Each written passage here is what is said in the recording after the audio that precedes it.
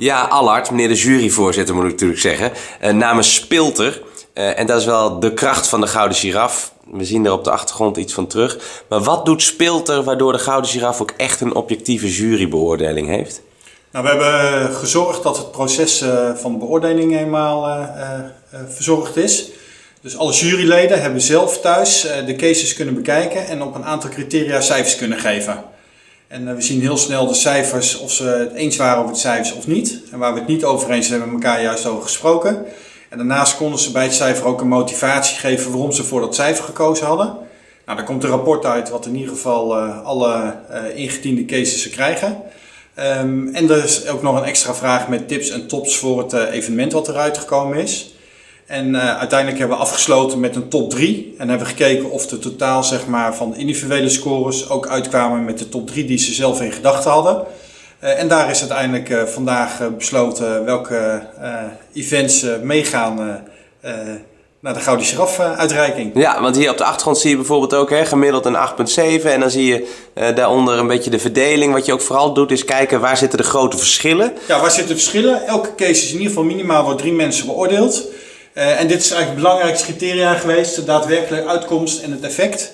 Uh, dus deze uh, criteria telt twee keer mee ten opzichte van andere criteria die allemaal één keer meetellen. Ja, en gemiddeld zijn ze op acht, negen criteria beoordeeld. Ja, met ook nog een weging. Hè? We hebben ook nog uh, duidelijke weging aangegeven, bijvoorbeeld bij effect en impact. Uh, dat, dat is echt wel waar, waar we naar gekeken hebben. Ja, uh, effect en impact is het allerbelangrijkste. Ja. Maar bijvoorbeeld bij congressen hebben we meer gekeken naar leren. Waarbij uiteraard of het event ook heel erg bij het merk paste. Dus zo heeft eigenlijk uh, alle juryleden hebben zelf meegedacht op welke criteria zeg maar, beoordeeld zou moeten worden. Ja, nou hadden we in de vijf categorieën uh, prettige discussies. Niet heel fel. We zijn eigenlijk best wel vlot uh, uitgekomen voor de genomineerden. Maar als je terugkijkt en ook een beetje met de geluiden van de medejuryleden. Op wat voor niveau zitten we? Is het weer een stapje vooruit gegaan? Ja, is een heel stapje vooruit gegaan. Daar zie je ook dat er veel kritischer beoordeeld is. Er zijn een aantal echt hele mooie evenementen waarbij zei, ja, de gelegenheid deed zich ook wel heel erg voor. Of het was zo'n groot budget, daar kun je ook niet anders mee dan zoiets mee gedaan. Uh, dus is echt heel erg gekeken naar de paaltjes die eruit gekomen zijn. Waarbij het echt van A tot Z helemaal uh, klopte.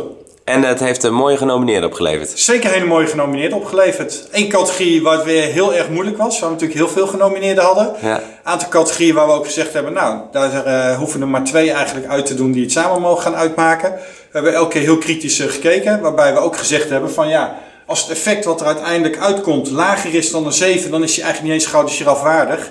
Uh, dus dan deed hij al niet eens mee uh, voor uh, de discussie. Helemaal goed. En terwijl mensen zien dat niet welk evenement het is, maar dat dit in ieder geval eentje was die heel hoog scoorde, gaan wij vrijdag 27 januari uit naam van de juryvoorzitter de nominaties bekendmaken. Dankjewel, Allard. Graag gedaan.